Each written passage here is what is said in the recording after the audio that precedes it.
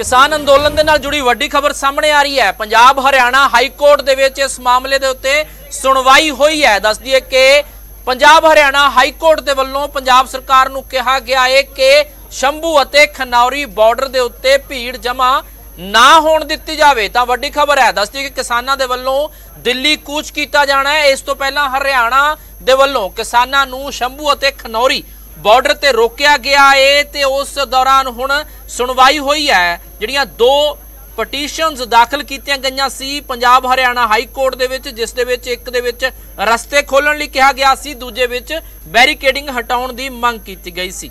ਤਾਂ ਇਹ ਵੀ ਕਿਹਾ ਗਿਆ ਸੀ ਕਿ ਕਿਸਾਨਾਂ ਦੇ ਪ੍ਰੋਟੈਸਟ ਦੇ ਕਾਰਨ ਆਮ ਲੋਕਾਂ ਨੂੰ ਪਰੇਸ਼ਾਨੀ ਹੋ ਰਹੀ ਹੈ ਤੇ ਹੁਣ ਪੰਜਾਬ ਹਰਿਆਣਾ ਹਾਈ ਕੋਰਟ ਦੇ ਵੱਲੋਂ ਇਸ ਤੇ ਟਿੱਪਣੀਆਂ ਕੀਤੀਆਂ ਗਈਆਂ ਨੇ। ਇਹ ਵੀ ਪੁੱਛਿਆ ਗਿਆ ਕਿ ਪ੍ਰੋਟੈਸਟ ਕਰਨ ਦੇ ਲਈ ਟਰੈਕਟਰ ਟਰਾਲੀ ਰਾਹੀਂ ਦਿੱਲੀ ਜਾਣ ਦਾ ਕੀ ਮਤਲਬ ਹੈ? ਇਹ ਵੀ ਕਿਹਾ ਗਿਆ ਹੈ ਕਿ ਮੋਟਰ ਵਹੀਕਲ ਐਕਟ ਦੇ ਤਹਿਤ ਹਾਈਵੇ ਤੇ ਟਰੈਕਟਰ ਟਰਾਲੀ ਤੇ ਨਹੀਂ ਜਾ ਸਕਦੇ।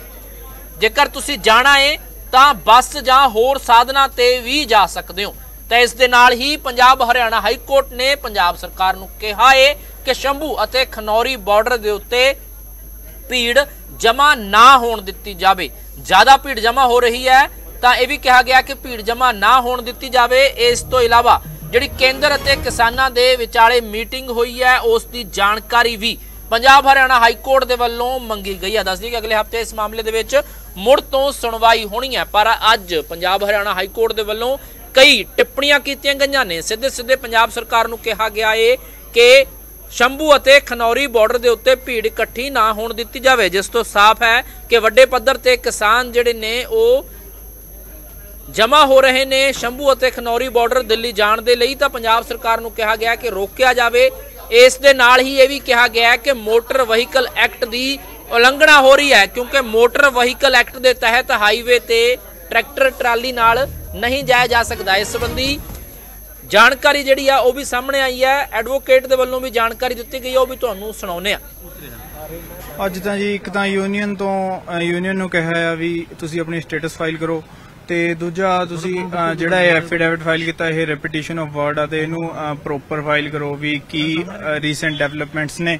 ਤੇ ਦੂਜਾ ਫਾਰਮਰਸ ਨੂੰ ਵੀ ਕਿਹਾ ਗਿਆ ਆ ਵੀ ਅ, ਤੁਸੀਂ ਇੱਕ ਵਹੀਕਲ ਕੋਈ ਹੋਰ ਯੂਜ਼ ਕਰੋ ਟਰੈਕਟਰ ਨਾ ਯੂਜ਼ ਕਰੋ ਅ, ਜੇ ਪ੍ਰੋਟੈਸਟ ਕਰਨਾ ਹੈ। ਬਾਕੀ ਇਹ ਸਾਡੀ ਅ, ਸਾਰੀ ਅ, ਆਪਸ ਦੀ ਗੱਲ ਹੈ। ਬਾਕੀ ਅ, ਸ- ਅ, ਪੰਜਾਬ ਨੂੰ ਡਾਇਰੈਕਸ਼ਨ ਹੋਈ ਹੈ ਵੀ ਤੁਸੀਂ ਇਹਨਾਂ ਨੂੰ ਇਕੱਠੇ ਨਾ ਹੋਣ ਦਿਓ। ਬਟ ਅਸੀਂ ਆਪਣੀ ਆਰਗੂਮੈਂਟ ਰੇਜ਼ ਕੀਤੀ ਉੱਥੇ। ਅਸੀਂ ਕੀਤੀ ਕਿ ਜਦੋਂ ਇਹ ਅਸੀਂ ਜਜਮੈਂਟਸ ਲੈ ਕੇ ਗਏ ਸੀ ਕਿ in the name of reasonable restriction state can not impose can not impose unreasonable boundation on the peaceful protester so ਇਹ ਜਜਮੈਂਟ ਸੀਗੀ। ਜਿਹੜੀ ਅੱਜ ਹੀਅਰਿੰਗ ਹੋਈ ਹੈ ਉਹ ਦੱਸ ਦਿਓ ਬਸ। ਜਿਹੜਾ ਅੱਜ ਕੀ ਅਗਲੀ ਡੇਟ ਕਿਹੜੀ ਹੈ? ਅਗਲੀ ਡੇਟ ਇੱਕ ਹਫ਼ਤੇ ਦੀ ਡੇਟ ਪਈ ਹੈ ਤੇ ਸੈਂਟਰ ਨੂੰ ਹਾਂਜੀ ਕਿਹਾ ਹਾਂਜੀ। ਮੀਟਿੰਗ ਹੋਈ ਹੈ ਕਿਸਾਨਾਂ ਦੇ ਮੰਤਰੀਆਂ ਦੇ ਵਿੱਚ ਉਹਦੀ ਰਿਪੋਰਟ ਦਿੱਤੀ ਜਾਵੇ।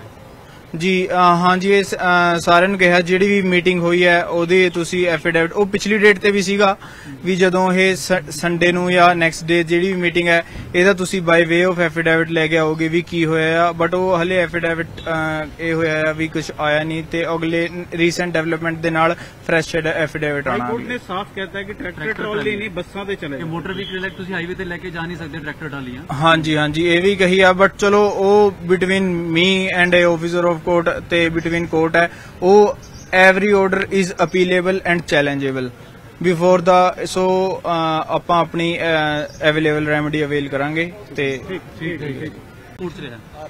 ਅੱਜ ਤਾਂ ਜੀ ਇੱਕ ਤਾਂ